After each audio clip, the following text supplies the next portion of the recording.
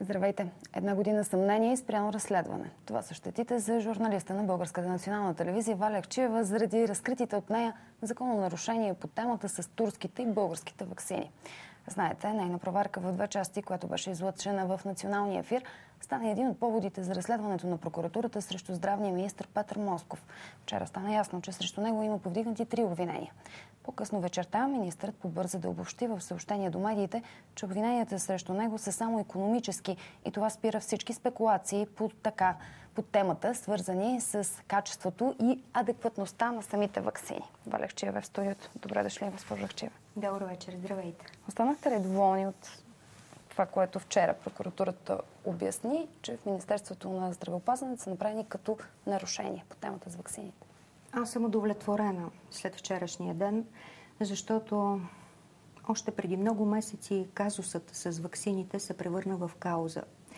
И след вчерашния ден, разбира се, когато прокуратурата си е свършила работата, когато има обвинения, когато прокуратурата посочва кой според нея е виновен да се погазят законите у нас, когато става дума за лекарства, когато става дума за деца, за бебета, не мога да не съм удовлетворена, че едногодишният труд на нашия екип завърши с вчерашния ден.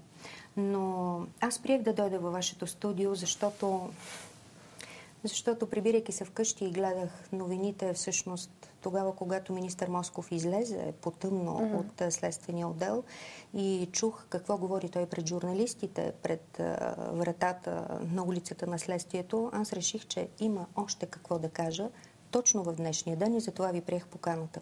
Заповядайте, искаме ние да го чуем, защото вчера имахме няколко интервюта, от които пък стана ясно, че явно не това е всичко по темата и че прокуратурата до момента не е обхванала явно всички съмнения по нея. Какво вие можете да добавите на базата на вашите проверки, разбира се? Аз приемам, че всеки един човек, когато има повдигнато обвинение, той може да се защити по всякакъв начин. Той може да си изгради защитна теза, може да говори а, от своята гледна точка как се вижда той в повдигнатото обвинение. Но не мога да приема, че когато имаш обвинение, ще продължиш да говориш неистини в публичното пространство и ще продължаваш да манипулираш обществото. Кое визирате? Визирам няколко неща, за които министър Москов с нощи говори в тъмното пред журналистите, използвайки факта, че тези журналисти наистина не знаят фактите по това разследване и каквото той им казва, те го слушат и това излъчват. И веднага ви казвам, например, това а, за ампулите Тетадив, неговото обвинение за безстопанственост във връзка с ампулите Тетадив, които са всъщност произведени нелегално 1 милион и 14 хиляди в база Люлин на държавната фирма Булбил. Министър Москов с нощи се скара едва ли не, че той е борец срещу престъпната схема за производство на вакцините в държавната обясни, фирма. че е подал сигнал до прокуратурата да се провери как така тези вакцини да, но това не е така, защото той подаде сигнал, всъщност сигнал е много по-назад. Той реагира постфактум, тогава, когато беше всичко свършило. Сигналът на прокуратурата го подадох аз още през месец юни, защото мои източници от държавната фирма Болбио ми бяха казали, че вече се произвеждат нелегално тези вакцини на място, където не може да се произвеждат без разрешение. И всъщност по този сигнал прокуратурата организира акция два дни, на 1 и на 4 юли.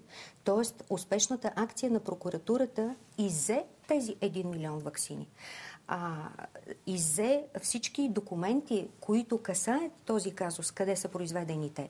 Това беше на 1 и 4 юли. Когато към средата на месеца се разбра, че изпълнителната агенция по лекарствата няма да падне на колене и няма да си затвори очите пред това, че на неразрешено място без документи за производство, за съхранение са произведени тези ампули, когато се разбра, че прокуратурата също няма да си затвори очите и няма да отстъпи, тогава на 15 юли министър Москов е написал а, заповед за извършване на одит и едва в края на август, началото на септември той написа този сигнал до, прокурора Цац... до главния прокурор Цацаров. Това си го спомняме, нямаме толкова къса памет, така че е абсолютен да. факт. Така е. Наистина, проверката от страна на прокуратурата по сигнал на Министерството на здравеопазването беше след акцията там. И друга наистина. Друго. Кое? И друга наистина. Това, което продължава да се а, твърди, че всъщност ваксините Еовакс били като някакво допълнение дадени към договора за дарение между България и Турция. Това също не е истина, защото според договора между Турция и България, който ние сме показали в нашето разследване в първата му част, в този договор ясно пише, че става дума за двете вакцини. 100 000 една вакцина и 100 000 друга вакцина. И е посочено, че те са педиатрични, т.е. те са за деца. Не става дума за някаква добавка към договор. Това също е една неистина. И другата а, неистина е, че всъщност а, министър Москов твърди, че бил защитил българските деца. Аз а, считам, че той е използвал българските деца да каже, че има една добра цел. Разбира се, можеш ли да вървиш към една добра цел, погазвайки закона? В писмо до управителя на Булбио той пише, моля да произведете за нуждите на българските деца над 4 милиона вакцини. И веднага след това тези вакцини отиват по договора за Турция, за турските деца. Тоест, те не са за българските деца. Те са по оня договор за дарение на БЦЖ вакцини, които са заминали. 5 милиона дози. Така е. Вчера обаче стана ясно от думите на прокуратурата все пак, че нарушенията според тях са и финансови. Това, с което започнахме. И от Министерството обясниха, че те наистина са само финансови. Предлагам ви сега обаче да чуете обяснението на доктор Дечо Дечев, който с нощи беше тук в студиото и говори за финансовата част. Тъй като от Министерството на здравеопазването казва, че на нас са ни дарили а, вакцини за 4 милиона, ние сме дарили за 400 хиляди, т.е. няма как България да е ощетена. Ето обаче какво уточни доктор Дечев с нощи. Имайте на предвид, че минималната цена, на която някой може да си купи по света една доза вакцина против туберкулоза е 4 долара. Една. Тук става въпрос за 5 милиона. Колко станаха? 20. А, не искам да ви твърдя, но може би прокуратурата има информация. В Турция цената е доста по-висока от тази, която ви казах аз. Повече от 4 долара? Да. Да, около 8 се споменаваше, между да. другото, някъде се спомням, че чух. Тоест, според че... вас става въпрос за ощетяване в много по-големи размери, а не става въпрос само за 400 хиляди лева.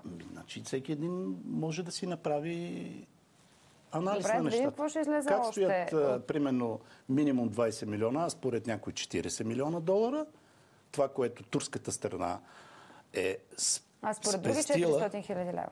400 хиляди лева, пак ви казвам, това е себестойността на производството. Така, винаги когато се правят подобни разследвания, когато става въпрос за пари, които всеки разбира по различен начин, дали те са на производствена цена или на търговска, в различни договори се пише по различен начин, в зависимост от това кой какъв интерес има. Вие до какво се натъкнахте обаче, госпожо Ахчива, през цялата си работа? Има ли някой чисто финансов интерес или по-скоро е станало някакво заблуждаване, някакво объркване, не знам. Може би сме били наивно преметнати, така да се каже, от турската страна. До какво заключение стигнахте? Аз говоря неща само когато има документ, който доказва моите твърдения. Това предполагам, че в съдебната фаза може би ще се направят експертизи, защото този въпрос изисква съдебна експертиза. Да се провери дали наистина това, което влиза и това, което излиза, каква е неговата стойност. Това ще го кажат вещи лица по експертизата. Но това, което аз като журналист мога да кажа по пътя на логиката и фактите, които съм разкрила, то е много простичко. Едни и два вида вакцини влизат. Какво значение има колко струват те, след като те нямат разрешение за употреба? Тоест, след като Върховна административна прокуратура спря Елвакса и Пентаксима официално още през месец декември. Каква цифра ще сложите на това влизане на ваксините? За мен това е кръгла нула. Тук няма стойност, защото те са неизползваеми, а за тези ваксини е платено и ДДС. От другата страна излизат едни 5 милиона дози БЦЖ вакцини, които разбира се, че министър Москов тук също се манипулира, защото той посочва производствена цена. Да, това, което обясня. Да, дали производствената цена може да бъде 2 лева на една такава доза? Въпросът е обаче колко струва те на пазара в Турция. Не може да се каже колко е пазарната цена, на която влизат едни, а да се противопостави а, производствената цена на БЦЖ ваксините. На този въпрос трябва да отговори експертиза в съдебната зала, която ние ще разберем какво показва. Този въпрос трябва да се изследва, защото парите никак не са малко. Със сигурност става дума за милиони. И освен това, аз бих отишла и още по-далеч в тази мисъл къде са отишли тези БЦЖ вакцини в Турция? Как са използвани? Точно къде са отишли? Защото и аз си представете, че те пък не са отишли там, където трябва са отишли за реекспорт. Ако са отишли за реекспорт, тогава те могат да се продават и на други цени. Затова прокуратурата има още да работи. Експертизи, експертизи, факти. Малко ще е затруднена работата, защото, доколкото знам, между България и Турция има договор за правна помощ, но нещо не отговарят от Турция на всички поставени въпроси. Благодаря ви много. Завършваме разговора с тези въпроси към прокуратурата и чакаме следващия и ход, както и следващите и разкрития. Иначе, днес в следствието разпитите продължиха. Бяха извикани някои от членовете на кабинета, които трябваше да обясняват как са дали разрешение на министър Москов за сделката с дараните и получени от Турция вакцини. Знаете, разрешението е дадено с неприсъствено решение на министрите. Ето какво обясниха някои от тях.